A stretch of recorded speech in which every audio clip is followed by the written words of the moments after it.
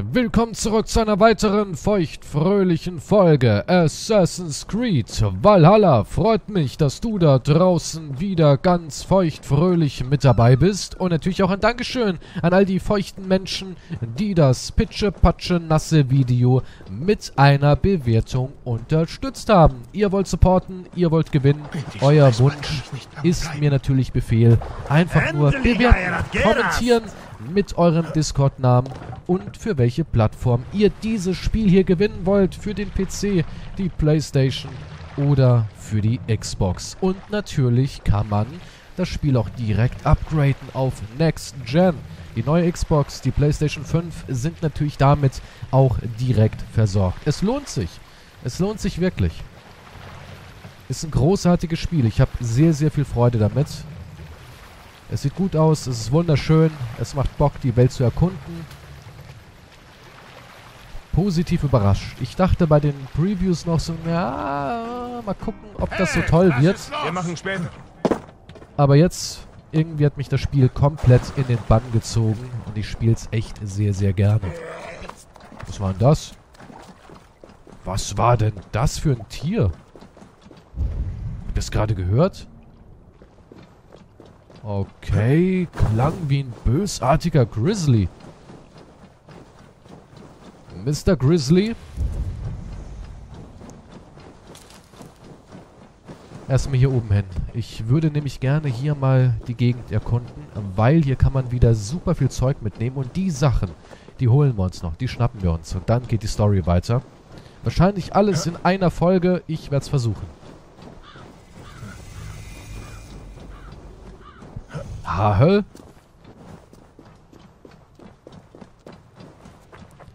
Okay, kann ich hier hoch?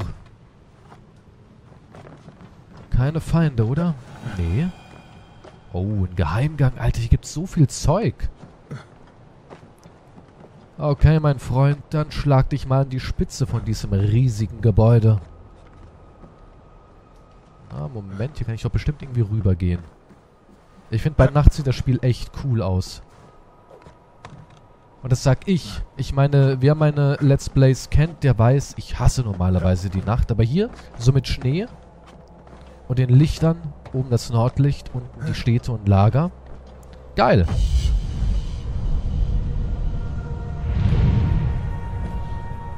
Mega, mega geil, oder? Kann sich sehen lassen. Mir gefällt's.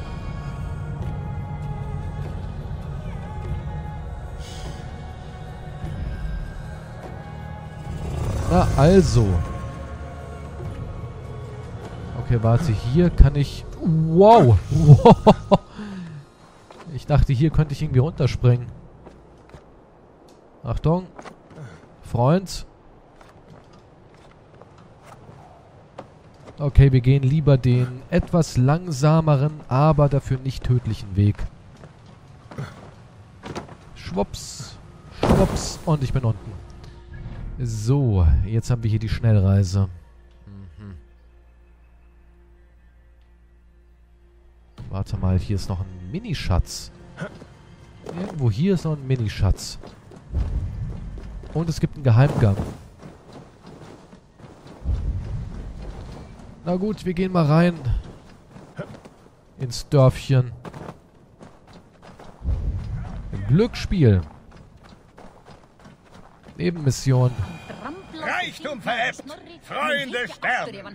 Aber diese Ah. Relikte sind für die Ewigkeit. Okay, ich brauche eine Truhe. Hast du die? Ja, ich brauche eine Truhe. Ich brauche einen Schlüssel. Willkommen, Krieger. Sulkes Silberzunge bietet Wundersames aus allen neun Welten. Seltene Dinge, unbezahlbare Artefakte. Und doch lässt du dich dafür bezahlen. Alles hat seinen Preis. Und ich verlange nur einen Bruchteil ihres Werts. Wie wär's mit einem Teil vom Kreuz Christi? Schlangenhaut aus Ragnar Lodbrocks Todesgrube. Diese Dinge sehen nicht sehr beeindruckend aus. Wie dieser alte Schuh. Der gehörte einst dem ersten christlichen Papst. Oder war es ein Heiliger? Jedenfalls bringt er den Segen ihres Gottes. Den werden sie bei so einem Schuh auch brauchen. Und was ist das für ein alter Lederriemen? Ein Schildgurt des Helden Sigurd. Er verlor ihn im Kampf gegen äh, das große Untier. Ja, meine Mutter hatte einen, der so bestückt war. Und was ist mit diesem Helm? Das war der Helm, den Halfdan der Schwarze trug, als er im Kampfe starb. Er wird dich schützen und gute Ernte einbringen. Das ist eine Lüge. Das ist der Helm meines Vaters Warin. Er trug ihn in der Nacht, in der er starb. Ey. Eivor? Jetzt erkenne ich dich, Sulke die Schlange. Das sind Dinge aus meinem alten Haus. Wie viel Silber hat Kirtwi dir bezahlt, um uns zu hintergehen? Kein Silber, so war es nicht. Ich war in dieser Nacht da, aber ich habe nicht für Kjörtvi gekämpft. Ich bin geflohen. Feigling, ich sollte dich niederstrecken. Nein! Ich will nicht sterben! Müssen wir den Du wirklich wirst töten? nicht gefragt. Echt jetzt? Äh, es tut mir leid. Moment mal, Moment mal, Moment mal. Was, ist hier los? Gewalt. Wollen die mich jetzt auch töten? Äh, wo ist der Feigling hin? Ah, hier drüben. Bam! Deine Freunde hast du auch noch mit reingezogen, ha? Alles klar, dann muss ich wohl die ganze Bande erledigen. Hat der eine eben gerade mit Kacke geworfen da hinten? Oh, ihr sollt bluten. Sulke wird in der Stadt bleiben. Hinter ihren Mauern ist er sicher. Tja, ist er mir jetzt entwischt? Oder habe ich ihn nicht eben gerade hier erwischt? Wer war das denn? Es ging alles so schnell wieder. Das sind Sachen aus meinem Haus. Wie kann er nur? Ha. Und wo könnt ihr einen Schlüssel für das Ding haben? Es würde mich ja brennend interessieren, mein Freund. Warte mal, hier oben gibt es wieder so eine fliegende Notiz. Und da fliegt sie davon. Hinterher! Komm schon, komm schon, komm schon. Ja, ja, so ist gut. Darf sie auf keinen Fall verlieren. Genau. Du sagst es, mein Freund. Okay, wo will es hin? Na, wo will es denn nun hin? Schwupp, schwupp. Kannst du bitte mal stehen bleiben? Das wäre sehr freundlich. Nein, nein, nein, verschwinde nicht. Ey, oh. oh, ich hab's. Tattoos, Mann. Wer kennt's nicht?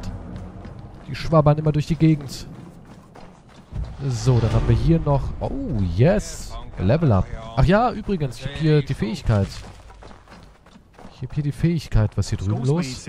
Moment, Moment, Moment. Ich habe so viel zu tun. Warte, warte, warte, warte. Hier ist auf jeden Fall ein Schatz. Ein größerer Schatz. Ich muss nur einen Weg da hineinfinden. Was treiben die hier, die beiden? Die beiden Lümmel? Die boxen sich und kloppen sich? Okay, hier haben wir noch die Truhe. Ich habe nichts getan! Da ist er doch wieder. Das entscheide ich! Ja, jetzt, jetzt bleib doch mal stehen. Wie kann man nur so feige sein? Und so schnell?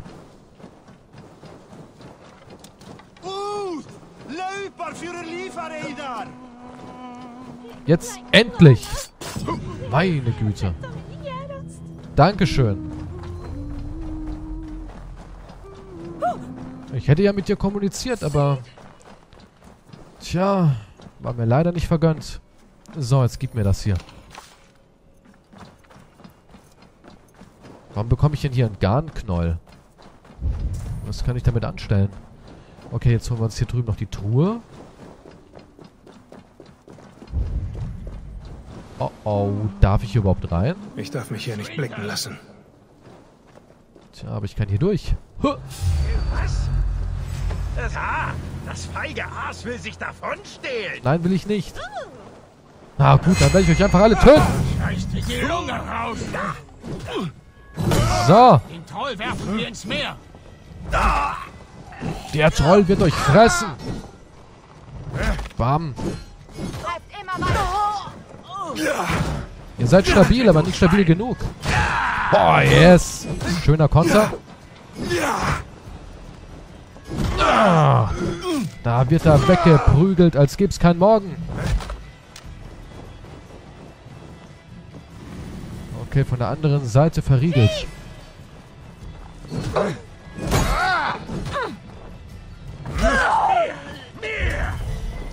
Ja, du gehörst mir.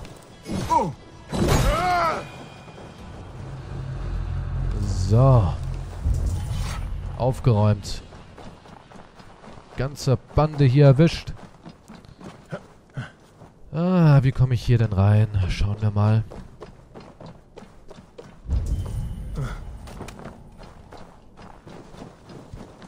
Ey, in dem Spiel bekommst du wirklich gar nichts geschenkt. Was ist das hier? Ich habe da was gesehen. Ha. Okay, die Tür ist auch verriegelt, ne? Klemmt. Ich muss auf die andere Seite. Ja, aber die ist ja auch verriegelt. Oh, warte mal, ich habe eben gerade irgendwas... Irgendwas habe ich hier drin getroffen. Und auch zerstört. Man könnte wahrscheinlich den Riegel auch zerschießen.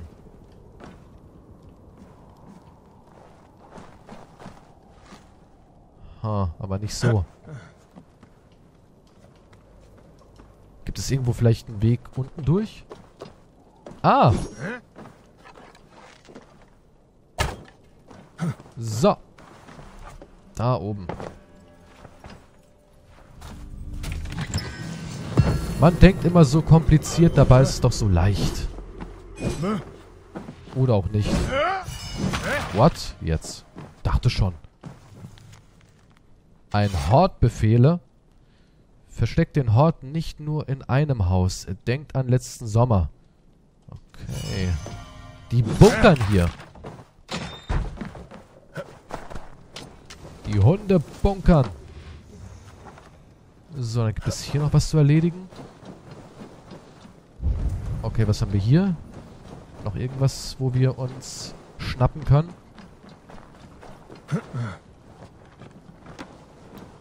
Wahrscheinlich da oben. Na komm. Hoch mit dir, du Rabauke.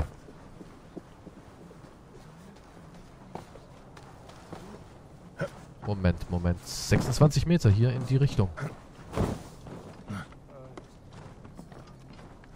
Ja, das sieht gut aus. Äh, ist es irgendwo hier, hier drin? Bist du es? Brief oder irgendwas da oben? Moment, hier komme ich nicht ran.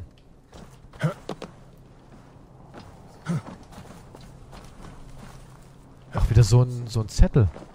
Oder was? Hä?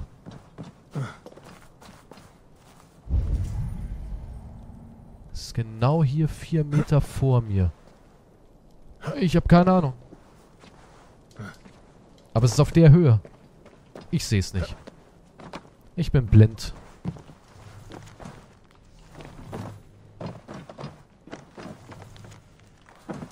Einfaches Angebot, irgendwelche Notizen. Was haben wir hier? Ist das hier so ein Battle der Dichter? Und noch eine Nebenmission. Okay, schauen wir uns das hier mal an. Es gibt so viel in der Welt zu entdecken, also...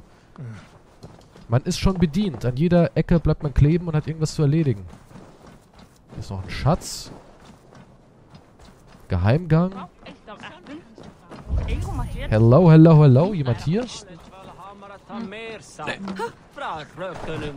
Komme ich denn zu dem Geheimgang? Der sich auf meiner Höhe befindet. Du siehst aus, als könntest du einen Kampf überstehen. Ein Kampf? Eivor Wolfsmal! Bist du es? Ja, ich bin's. Rolf, oder? Waren wir nicht einmal zusammen an der Nordküste auf Raubzug? Schön, dass du dich erinnerst. Es war das erste Mal, dass Dürbjörn uns so weit wegfahren ließ. Und Sigurd schimpfte, weil er deinen Anteil für zu groß hielt. Plünderst du immer noch in deinem Alter? Wir müssen nehmen, so viel wir können, ehe Harald in ganz Nordwege das Sagen hat. Aber ich plane nur noch. Die Arbeit überlasse ich anderen. Tatsächlich suche ich nach einem Anführer für meine Mannschaft. Ich würde dir gerne helfen, aber ich habe jetzt selbst eine Mannschaft. Ich meinte nicht dich, aber ich könnte deine Hilfe bei der Auswahl gebrauchen. Ich habe ein paar ausgewählt, die es zu prüfen gilt. Zu prüfen? Wie? Wenn du jemandes wahren Charakter sehen willst, musst du ihn kämpfen sehen. Zeig mir, wen du hast. Meine Mannschaft ist unten am Hafen. Meist Einheimische. Sogar ein paar abenteuerlustige Bauern. Wie schneiden Sie im Vergleich zu mir und Sigurd ab? Das ist kein Vergleich. Du hast dir einen Namen gemacht, Eivor. Man redet an der ganzen Küste über dich. Gut oder schlecht? Kommt darauf an, mit wem du redest. Meistens gut. Sei unbesorgt wegen der anderen. Die sollten wegen mir besorgt sein. Na dann, zeig mir mal deine Männer. Was wird das hier? So eine richtige Schlägerei oder? Das ist meine Kriegermannschaft, Eivor. Was ihnen an Erfahrung fehlt, gleichen sie anderswo aus. Ah ja. Zusammen werden wir diese Fleischklumpen zu Männern und Frauen aus Eisen machen. Zu Kriegern. Und wer von diesem traurigen Haufen soll die Führung übernehmen? Siehst du den Großen da, Outbjörn? Er redet nicht viel, aber er könnte ein Schiff ganz alleine rudern. Diese Schildmaid ist Aashild die Kühne. Ihre Klinge ist so scharf wie ihr Verstand. Und dann hätten wir noch Torgeld. Rolf, wen hast du denn da? Behalt den Kopf beim Kampf, sonst schlägt ihn dir jemand ein. In Ordnung. Er ist so stumpf wie eine Holzkeule, aber die anderen mögen ihn. Und das sind die Besten aus dem Haufen. Diese drei also, ja? Mit denen werde ich schon fertig. Willst du gegen alle gleichzeitig kämpfen? Warum nicht? Raubzüge sind pures Durcheinander. Sie brauchen eine Prüfung ohne Regeln. Prüfe sie, aber tu ihnen nichts. Es war schwer genug, überhaupt so viele zu finden. Hört zu, das ist Eivor Wolfsmal. Eivor hat mehr Leute auf dem Gewissen, als ihr je kennenlernen werdet. Eivor Wolfsmal. Ich habe von dir gehört. Das wird großartig. Wer meine Mannschaft führen will, muss gegen Eivor kämpfen. Der Beste gewinnt. Nicht töten, nicht verstümmeln. Sonst gibt es keine Regeln. Verstanden?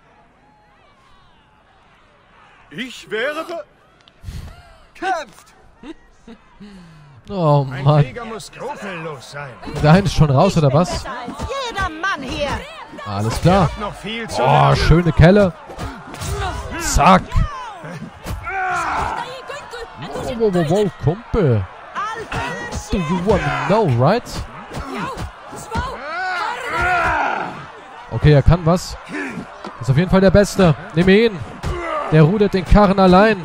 Richtiger Bär. Natürlich keine Chance gegen mich, aber...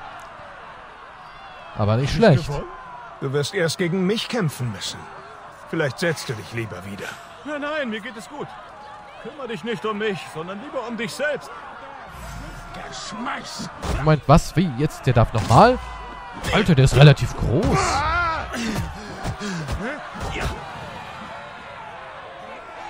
Das genügt! Habe ich gewonnen? Nein, doch du hast gut gekämpft. Und du hast gute Aussichten. Ich hätte lieber etwas Met. Tja, wen soll ich nehmen? Weißt du jetzt, was du wissen wolltest? Ja, hätte nicht gedacht, dass Torgels es schafft, aber er ist so ein Dickschädel wie sein alter Herr. Warte, das ist dein Junge? Der kleine Tor? Der ging mir früher kaum bis zum Bauchnabel. Er ist groß geworden und jetzt wird er mir alles nehmen wollen. Aber so sind Kinder nun einmal. Hier etwas Silber für deine Mühen und ein bisschen obendrauf. Weil ich dich und Sigurd damals übers Ohr gehauen habe. Viel Glück! Ach, du hast mich übers Ohr gehauen. Weißt du, das wusste ich gar nicht. Ah, ah, du elender Schweinehund.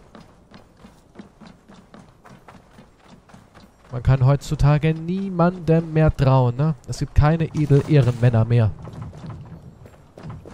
Was ist nur geschehen? Aus dem Weg, kleine Göre! Guck mal hier, ich habe den Geheimgang ja schon gefunden.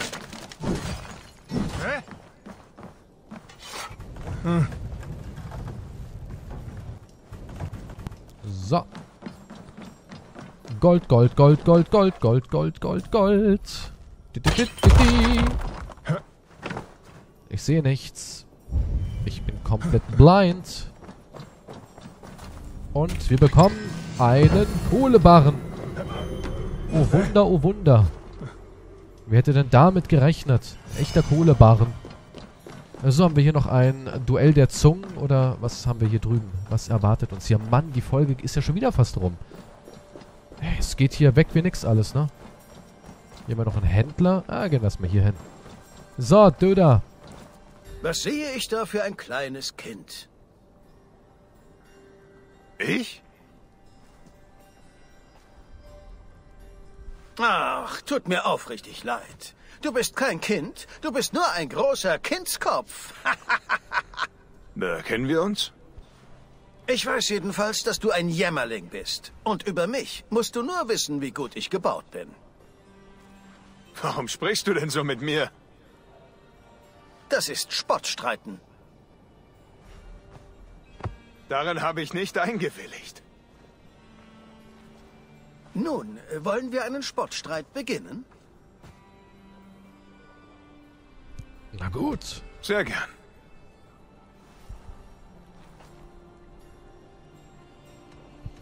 Ja, machen wir einen kleinen. Hier ist mein Einsatz. Jetzt kann es losgehen.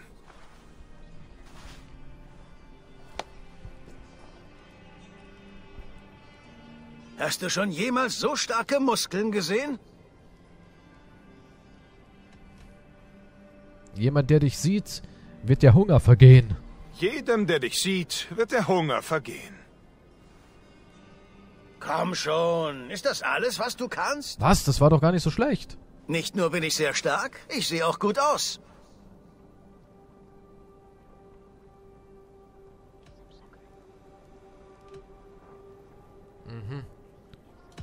Nein, für dieses Gesicht kriegst du keinen Applaus.